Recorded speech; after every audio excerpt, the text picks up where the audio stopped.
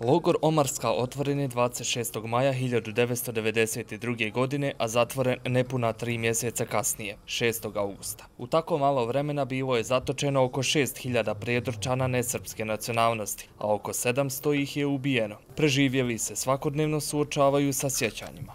Svaki put kad dođemo ovdje je isti osjećaj, a veoma je teško, teško je shvatiti nas zarobenike kad dolazimo na putu prema ovome logoru i dan prije nismo iste osobe i onda se pojave mnoge slike e, e, zlostavljanja, vrisci, ubijstva, mrtvi ljudi.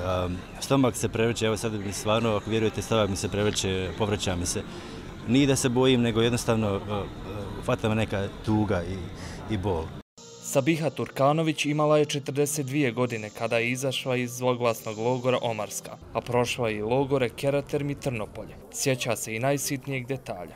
Svake godine dolazim ovamo, emocije ponesu, sjećam se svega i živih i mrtvi i sve što se radilo. Ja sam u Omarskoj preživjela ono što je najgore, najteže. To sam dokazala čovjeku lice u lice u Hagu.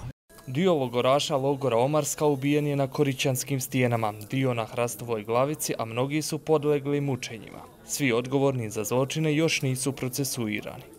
Određene istrage se protiv nekoliko lica vode pri tužilaštvu Bosne i Hercegovine i očekujem da će tužilaštvo barem do sljedeće godišnjice podići još jednu optužnicu za zločine u logoru Omarska.